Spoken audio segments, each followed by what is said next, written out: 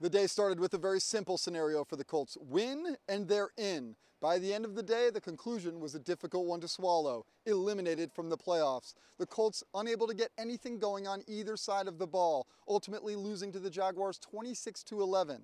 The Colts offensive line giving up six sacks as Carson Wentz could not get anything going.